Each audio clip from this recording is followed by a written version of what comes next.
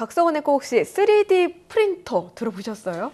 요즘 3D 프린터 한참 이 화두가 되고 있는 것 같은데요. 네, 그 최근 제조업부터 건축 디자인까지 산업계에서는 3D 프린팅 기술이 화두로 떠오르고 있습니다. 적은 비용으로도 제품을 만들 수 있어 많은 회사의 새로운 기회가 되고 있는데요. 3D 기술로 설계하고 제작한 제품들이 모인 대규모 기술 전시회가 미국에서 열리고 있습니다. 최원석 기자가 취재했습니다. 3D 스캐너가 책상 위에 놓인 물체 안팎을 컴퓨터에 그대로 옮겨냅니다. 합금으로 된 전자기타와 실제 발사가 가능한 단단한 활은 3D 프로그램으로 설계하고 3D 프린터로 제작했습니다.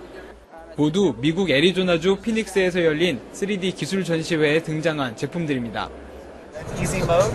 Um, you can literally import your model with this button here and then paint it up.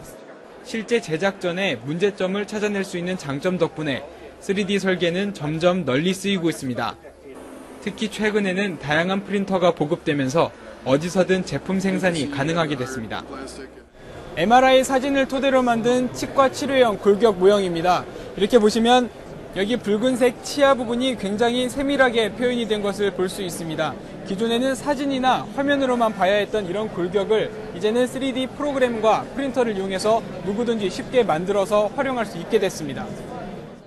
캐나다의 신생 회사는 팔 근육에서 나오는 신호를 컴퓨터 조작에 연결해 이미 세계적으로 큰 주목을 받기도 했습니다. 시험용 제품을 만드는 시간과 비용을 줄이는데도 3D 기술이 핵심적인 역할을 했습니다. print those out on the printer, throw them into a prototype, see if it works, see if it behaves the way we want it to. If it did, great. If it didn't, we go back to the drawing board and we redesign it, then print it out again. And it's just a continuous cycle, just like that.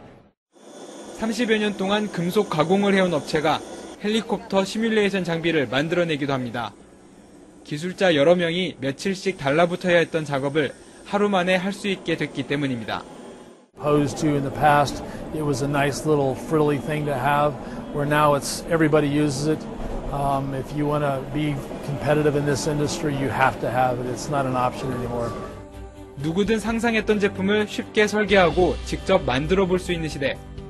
세계 각지에서 온 참가자들은 3D 기술이 새로운 산업 경쟁력이 될 것으로 전망했습니다. 미국 애리조나 피닉스에서 YTN 최원석입니다.